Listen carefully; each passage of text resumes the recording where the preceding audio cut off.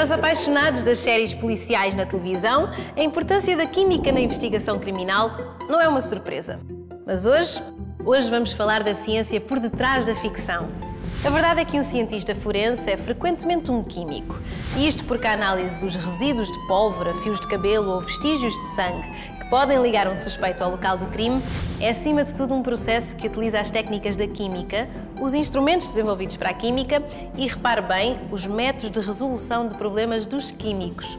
De facto, a moderna investigação criminal põe à prova os limites e as capacidades da chamada química analítica, um ramo da química que se dedica a identificar as quantidades de substâncias presentes numa amostra.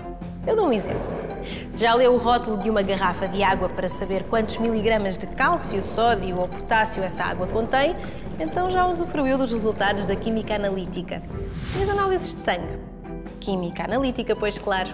Os desenvolvimentos da química analítica permitem detectar a presença de substâncias em quantidades ínfimas, através de uma panóplia de técnicas capazes de reconhecer as características específicas de cada substância. Por exemplo, com a cromatografia, uma técnica que permite separar os diversos componentes de uma amostra, é possível detectar quantidades de amostra absolutamente diminutas, da ordem dos nanogramas por mililitro. E quanto é que isso é?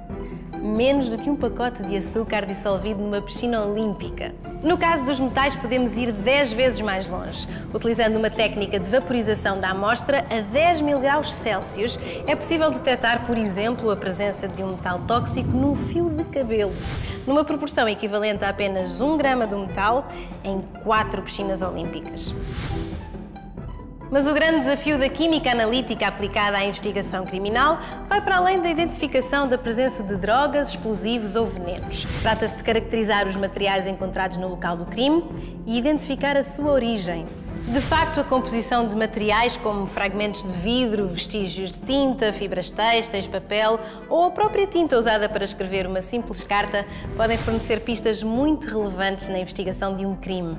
A utilização de técnicas analíticas combinadas permite inclusivamente identificar a origem geográfica ou a data de fabrico de muitos materiais.